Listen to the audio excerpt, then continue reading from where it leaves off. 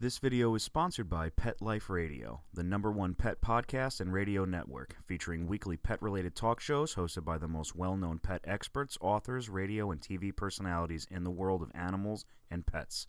PetLifeRadio.com. Let's talk pets.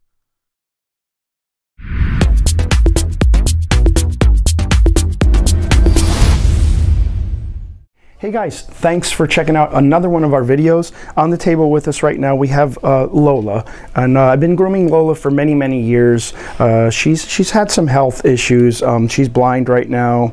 Um, she one of the things that happened to Lola is uh, she ended up having to have her tail uh, docked and cut off. She she used to have a tail, uh, but she uh, the tip of her tail ended up developing cancer. So these are the things that happen. These are the things that we come across as groomers, and that's why I always mention that all dogs are different, and uh, and and during the lifespan of the dog, also things may change. Uh, the, these issues come up, so we're dealing with Lola on a whole different level. Um, and a lot of times, and I'm sure a lot of you groomers might agree with this, when dogs start to go blind, they become very very reliant on you. They become more docile, and and and you really need to be gentle with them and and and uh, just reestablish how the how the grooming is going to take place. Um, but with that being said, uh, we're, we're going to show you uh, how we brush out the tail, and we're also going to show a, a, little bit of an ear plucking video on her too. It's not very severe, but before it gets out of hand,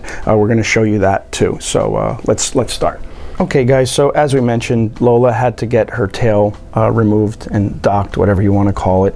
Uh, but uh, as groomers, I suggested to the owners, I said, uh, why don't we see if we can let this hair grow so that we can at least give the appearance of, of having a tail. Um, and again, this is just an example of uh, what not to cut. Uh, sometimes you have to use hair to make for a better uh, grooming or a, a better visual.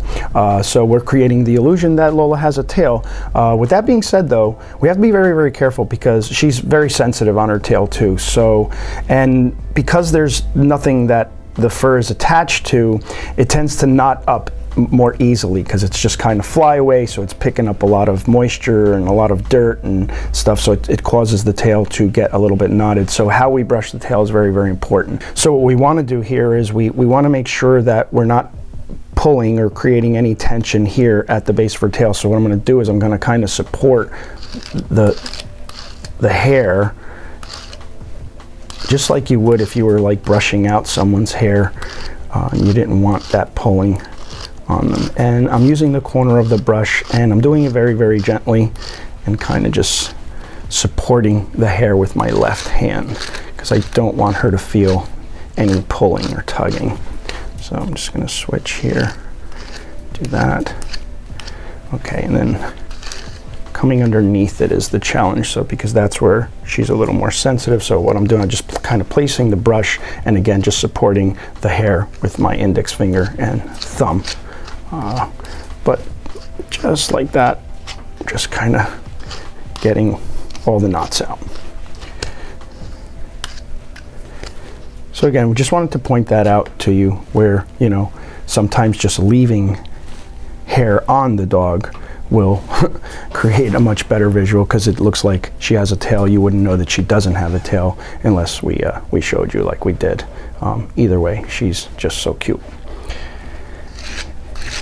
Okay guys, so now we're moving on to her ears. Um, so Lola has kind of uh, battled some ear infections in the past. So, at the suggestion of the vet, he recommended, really recommended that we do uh, some ear, ear pulling. So, what we're going to do is just inspect and see what we have, and uh, just kind of going to really try to get down in here um, so that uh, we're not tugging too much here.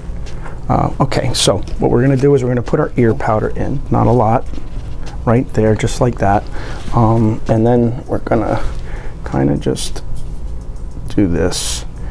Try to get some of it out from the ear canal. And again, I'm using my index finger and my thumb on this. I'm just gonna kind of pull gently.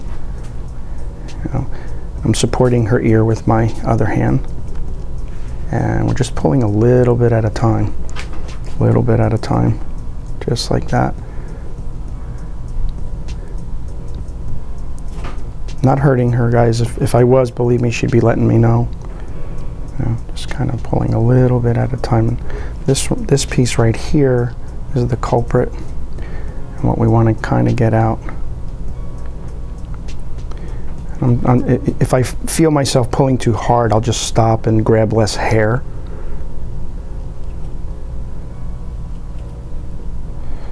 Because some of these hairs are going right down into the canal, you know? Her upper canal, anyway. As we mentioned in past videos, there's there's two canals. There's the upper and the lower canal. So you're not, you know, you have to be careful to go too deep or hurt them see, just kind of getting what I can out. All right. And as I mentioned in the past, what I like to do is I like to leave a little bit.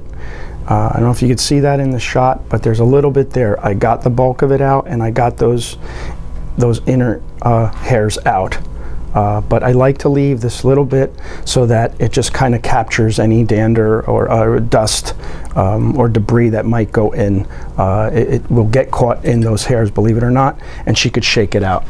So now we're just going to go to a cotton ball. I'm going to roll up a cotton ball. I'm going to put it on my forceps, and we're using um, we're using Pro Ear. It's a uh, ear cleaner. And we're just kind of putting a little bit on.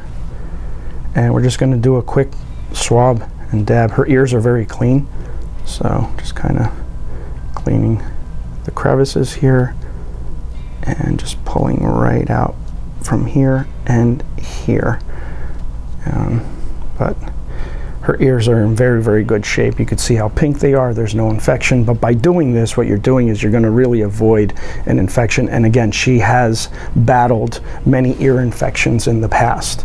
Uh, but that's about it. I mean, you can just see the difference there and just by pulling out that little bit of hair um, you know your uh, the, the oil and and, and um, dirt isn't getting trapped in there because what happens is moisture will get trapped into those hairs and and they will they will kind of bead the water down into the lower ear canal and that's when you start getting infections. Um, so by getting it all out uh, when she shakes her head that water will shoot out of her ear and uh, you know she won't have that excess moisture.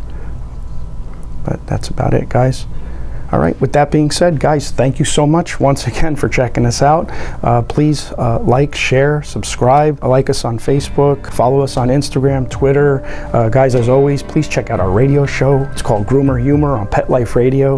And on behalf of me, Anthony, and the sweet little Lola here, thanks again for checking out another video.